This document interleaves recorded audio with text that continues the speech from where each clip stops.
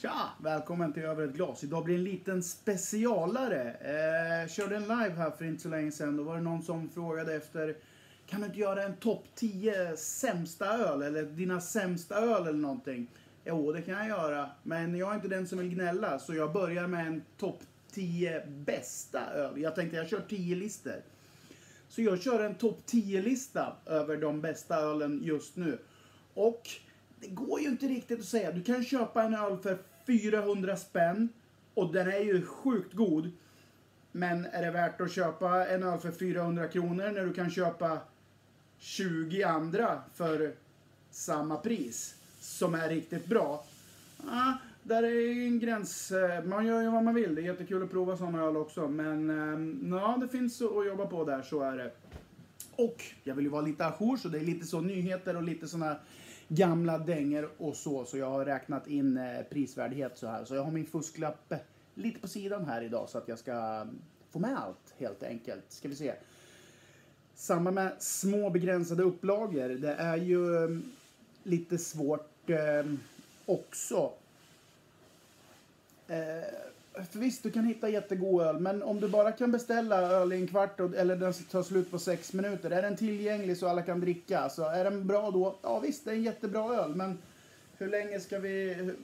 Ja, visst. Ja, ni förstår hur jag tänker där. Så det, det, den parametern får vi också dra in här. Eh, så är det ju. Och sen är det ju så att vi har ett ruttet monopol här i landet som eh, inte riktigt fungerar. Så vill man köpa något som är för mig som bor i Mälardalen så är det svårt att få tag på alla skånska öl för de finns lokalt och de, alla webbsäljs inte. Och samma med Norrland och, ja, och fler. Så det finns inte att få tag på öl. Eh, så det blir en liten stängd marknad. Så därför kommer den här listan också vara lite mer lokalbaserad här. Det är så det är. Det är därför, det är nackdelen till det här ruttna monopolet vi har som stänger hela marknaden helt enkelt. Det är helt blicklöst på riktigt. Eh, så är det. Hur långt har jag kommit i min lista innan vi börjar? Eh, eh, nu ska vi se. Och jag vet ju, jag och alla vet ju att lager är den populäraste, det är det som flest folk dricker. Men eftersom jag gillar smaker och de flesta som följer kanalen är liksom smak, lite mer smakinspirerade så så kommer det bli lite mer, eh, lager är inte, ja, ja ni förstår hur jag menar. Det, det är smaker som jag gillar. Man får dricka vad man vill och jag dricker såklart också det men eh, så är det. Jag dricker gärna en flock med, med lager på altanen sommardag. Det är inga konstigheter. Men det är ju inte liksom de godaste ölen på det här viset. Jätteläskande och friskt och gott. Absolut. Men smakmässigt står det ju inte sig i helheten. Så nu börjar vi på min lista. Vi börjar med 10. Februari 2019. Det här är den listan som gäller just nu. Topp 10 bästa öl. 10 säger jag och håller upp ett finger. 10. Eh, vi måste ha med, jag har gjort en blandad lista så att det blir lite av varje här. Och så har jag tagit in mina, min e-, egen input. Plats 10. Eh, vi måste ha en lager med. Ja, vilken lager kan man välja då? Ja, jag är ju lokalnisse och Möllys. Möllys Trailer Park Lager får plats nummer 10. Varför? Ja, lagerkategori. Han har gjort den, har, han löda i torrgiver av humle och hotta upp den på ett annat sätt som inte andra gör. Räknas det som en lager då? Jag vet inte. Vi säger den klassas som det och den är så. Och ja, det är nytt och innovativt. Eh, så ja, det måste premieras helt enkelt. Och vi måste ha med en lager på listan. Eh, så nu har jag ju redan avslöjat att det inte kommer bli liksom en Norrlands guld på topp här. Eh, så, Mullets Trailer Park, eh, plats 10. Nummer 9. Också lite lokalt, Västerås. Magna Forte från Ham, Hamn, Hamn, Hantverksbryggeriet. Nej, jag har inte druckit. Vi har lite tråkigt vatten i, i brunnen just nu. Sitter och sippa på en läsk faktiskt. Ja, ja gå vidare. Uh, så är det. Hantverksbryggeriet, den här Magna Forte, det är en lagrad rackare som de har haft på fat. Uh, riktigt, uh, riktigt bra. Jag drack den för inte så länge sedan här. Den finns fortfarande att beställa i, i webblagret för den som är intresserad. riktigt prisvärd och god och jag sprang in, sprang in i den här och det, jag har varit riktigt nöjd. Så att, jag tycker den förtjänar en plats här. Det är lokalt, det är räknas som det småskaliga men den finns fortfarande att beställa i hela Sverige. Så att den finns att beställa. Magna Forte, Handelsverksbryggeriet, plats 9. Plats 8 då. Ballast Points Mocca Marlin. Eh, jag tycker det är en välbalanserad eh, mörk med kaffetoner. Otroligt prisvärd och eh, och värd att dricka. Det finns många andra som är bättre, absolut. Men till vilket pris kontra smak? Nej, jag tycker den, eh, den är värd en, eh, en plats. Den står uppe bra mot många dyrare mörka alternativ och den finns i det ordinarie sortimentet. Den ska finnas på alla bolag. Sånt ska också premieras. Eh, plats 8, Mocca Marlin Ballast Point. Plats nummer 7. Vi måste plocka in en av den här kategorin. Den klassas väl som en belgisk ale egentligen, men Omnipolo Leon. Det är något speciellt med den. Den är ju jättegod. Det är en 75 framförallt. Det är lite speciellt. Och bara en 50-lapp. Och den är ju jättegod. Den är alltid drick, drickbar och den är frisk och god. Och varenda gång du korkar upp den här, eh, tar bort, tar bort eh, grimman och poppar upp den här så fint. Och så häller upp Det är så mycket bubblor varje gång. Det är härligt. Sjukt prisvärd och bra öl. Jag tycker den förtjänar en plats på listan. Och ordinarie supplementet, den ska finnas på alla bolag. Så den, eh, den kommer in. Omnipol Leon, plats 7. Plats nummer 6 då. Här kommer vi till första dipan. Här stod det ju... Det har stått och vägt. Det finns många i den här kategorin. Men ölen på alla släppar som har varit inne ett tag nu. De byter design och eh, allting. Radio the Mothership från Collective Arch på eh, plats nummer 6. En kanadensisk rackare. Den kostar 28 spänn, finns i ordinarie sortimenten Det ett bra, jämn kvalitet. Den kan vara lite så här i den kategorin, men den står sig bra. Eh, jag tycker den, den är så, så populär och inne alla, så jag tycker den förtjänar en plats. Den kommer på plats nummer 6, Radio the Mothership Collective Arts. Plats nummer 5. Det här trodde ni inte. Det är lite lokalt också, men vi måste ha lättöl också. Och vi har en lättöl. En riktig lättöl från Strömsholms bryggeri. Det är den absolut bästa lättöl eh, som går att uppringa. Jag trodde, jag trodde inte i min värld att det går att få in så mycket smaker i en, en lättöl. Jag har varit så fascinerad när jag druckit, jag har druckit den flera gånger. Den är så jäkla bra. Och för att blanda listan, vi måste ha lite blandat. Och jag tycker den är värd. Så att den, eh, en lättöl på plats fem, det är, det är bara att göra den. Den är riktigt bra. Röktoner, äh, den är riktigt bra. En riktig lättöl från Strömsholms eh, bryggeri har jag skrivit, men det är ju brygghus va? Ja, det är det väl. Nummer fyra.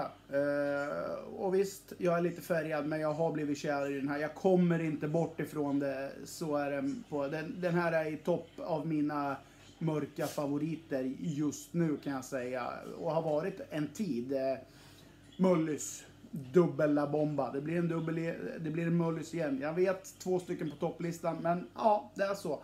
Gör man en lager på 10 så allt tycker det ska premieras och dubbla bomban, jag är helt...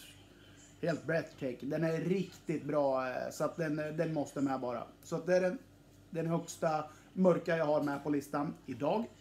Eh, nummer tre. Eh, kan gå och kommer och går lite på bolag. Det finns inte överallt alltid, men de tar in den ofta. Den är väldigt populär och det är den syrliga, lite syrliga som jag har med på listan. Jag tycker att den eh, ska vara med. Vi måste plocka in någon, eh, någon sur, sur, eh, sur, variant här och det blir den. Rodenbach Alexander såklart. Eh, sjukt prisvärd och så jäkla god. Eh, det, har ni inte provat den så prova den. Det är också på stor flaska. Den är, ja, det är riktigt bra. Rodenbach Alexander. Det finns ju flera flera varianter där, men äm, även den, den billigaste som in, i, visserligen inte är jättebillig, jag kommer inte ihåg priset i huvudet om det är 89 eller något, ah, skitsamma. Eh, så är det utgångsvarianten är också riktigt spännande och bra, det är inget snack. Nu, topp två då. Eh, det är egentligen ganska enkla val för mig, de här två. De var de två lättaste valen. Topp 1 och topp 2. Så nummer två. OO Brewings Evergreen. Eh, vad kostar den? 27 eller 28 kronor. Och det är så, så bra humlegodis så att det, det finns inte helt enkelt. Och Den, den, den görs i stora mängder men, och den går att beställa på webblagret. Det, man får, och den går fortfarande att beställa. Men den är inte i det ordinarie sortimentet än. Men pröva den här bara. Den är, var så jäkla bra för 27 spänn. Det går inte att få bättre eh, för det här priset. Så att jag tycker att vi, vi måste hylla den. Så den är på, eh, på plats två. Helt enkelt. Och plats ett. Eh, jätteenkelt val. Jag måste dra ner min fusklista. Jag har inte så mycket... Eh, så. Enkelt val. Enkelt val. Topp 1 just nu. Alna från Vapnö. Äh, det är så jäkla bra. Det var sån humlejuice att man blir breathtaked. Alltså, det är den solklara ettan och det är ett enkelt val alltså. Eh, om man har gjort en sån bra välgjord öl, det måste creddas. Och dessutom så var det bra pris också. Om det var 32 kronor, ja, freebasea lite, jag tror det. Sjukt prisvärt alltså, den smaken är magisk.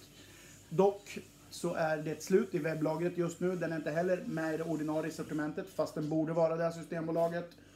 Eh, men jag råkar veta att eh, nya batcher är på gång och vi får bara hoppas att dessa batcher är eh, riktigt bra, vilket jag har inputs om att det ska vara också. Så, det är den bästa ölen just nu. Eh, Alna från Vapnö helt enkelt. Eh, riktigt fantastisk eh, öl. Så är det, där har ni listan. Ska jag dra den lite snabbt? Ska jag säga vilka som jag har haft som bubblare kanske också, så avslutar jag med att dra, dra listan här. Det blir bra. Jag har haft med Cherry Banger från Pojala i tankarna. Ja, den föll mig på läppen så det bara dåna om det. Jag har haft eh, Sockenstouten från gamla Enskede bryggeri. Eh, inte en liksom magisk smaksensation, men så välbalanserad och fin så att eh, man blir tårögd. Eh, vad mer jag har haft? Eh, Ängöls Prima Lager. Eh, jag har eh, det var ju när jag drack den första gången så jag bara, åh, kan lager vara så här god? Eh, så den var med i tankarna, men kom inte riktigt in. Och nu är det ett tag jag drack den sen, men jag har beställt några stycken. Jag ska göra ett retest på den har jag bestämt mig för. Och se om jag fortfarande tycker att den är så riktigt bra som jag tyckte sist. Det ska bli jätteintressant verkligen. Eh, Turbo eh, dubbellipan eh, var med i tankarna. Men eh, den fick vi undan för Radio the Mothership fast den borde vara svensk. Jag tycker det när Radio har eh, snackat lite mer. Turbo, turbon är lite billigare dock. Eh, så är det. Jag har haft eh, Chilla från Gammelbacka bryggeri med i tankarna. Den var riktigt bra. Eh, Alskutedipan från Gotland. Det var riktigt bra eh, dipa som har varit riktigt bra. Det är en tight kategori. Den fick vika vika lite på sig idag för eh, de andra. Och jag har dessutom tänkt på Omnipolo Bianca, en gos. Eh, det, det var också så här, jag var Jaha, var det, var, jag är helt fascinerad över att den, så den var också med och bubblade där. Det var bubblarna. Så, då drar vi lite snabbt här igen. 10. Och så håller jag upp ett finger. Ja, jag räknar åt andra hållet. Och skitsamma. 10. Möllers Trailer Park Lager. 9. Magna Forte Hantverksbryggeriet. 8. Mocca Marlin Ballast Point. Eh, 7. Omnipolo Leon. 6. Radio the Mothership Collective Arts. Och sen är det handen full. 5. En riktig lättöl från Strömsholms brygghus. Eh, 4. Möllers Dubbla Bomba. 3. Rodenbach Alexander. 2 Evergreen från OO Brewing och 1 Vapnö Alnas Vapnö Magical. Där har ni de 10 bästa ölen just nu. Jag får se, jag uppdaterar väl den här listan för den är ju lite löpande. Men februari 2019 är det här de bästa ölen. Punkt!